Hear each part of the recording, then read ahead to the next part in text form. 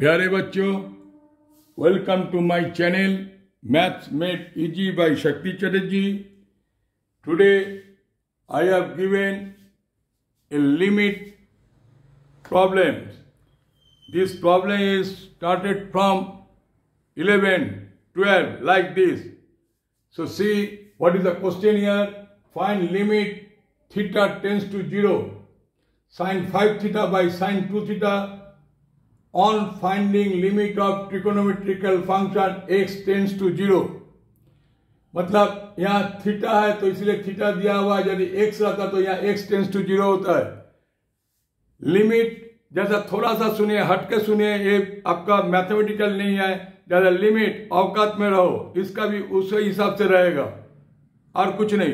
तो अब देख लीजिए सॉल्यूशंस करने के लिए पहले हम लिख दिए theta tends to zero that means the given function is of the indeterminate form zero by zero as theta tends to zero तो अब देखिए the given expression equal to limit theta tends to zero sine five theta by sine two theta this question just हम लिख, लिखना शुरू किए तो equal to limit theta tends to zero sine five theta by five theta Into 2 theta by sine 2 theta into 5 theta by 2 theta. Now you see 5 theta 5 theta cancel 2 theta 2 theta cancel sine 5 theta by sine 2 theta. As a rule of mathematics, new line should be satisfied the previous line. This is only the formula in mathematics.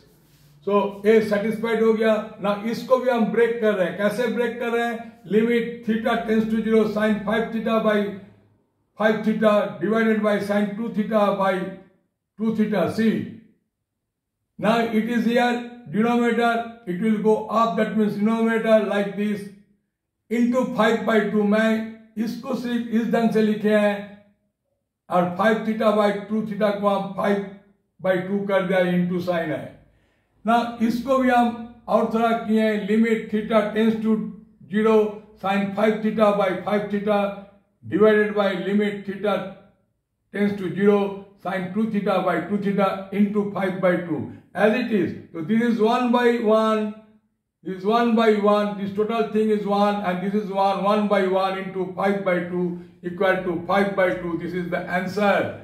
प्यारे बच्चों यदि आपको अच्छा लगे आप यदि समझे it is a very good style तो आप ज़रूर अपना दोस्त में शेयर कीजिएगा कमेंट कीजिएगा।